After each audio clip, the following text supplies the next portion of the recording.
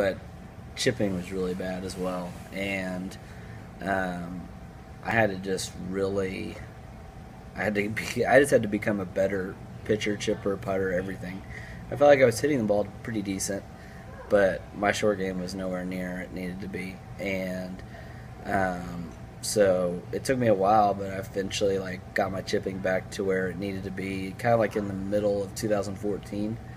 And Is that a self-help situation, or did you? kind of, yeah.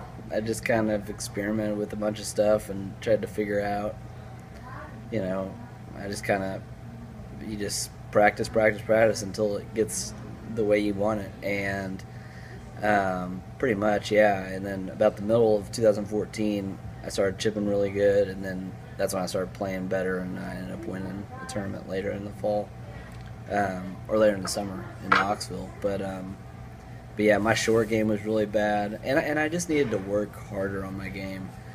I really just I wasn't working as hard on my game as I should have.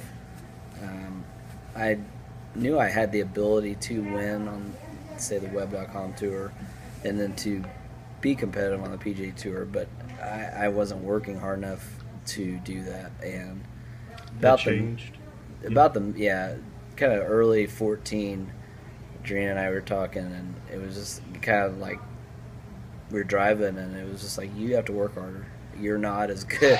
You kind I kind of got better when I realized I wasn't that good. If that makes sense. When I said I am not, because at the time I had conditional status on the web, I wasn't really getting into anything, and and you know looking around, I'm like I am not that good from a.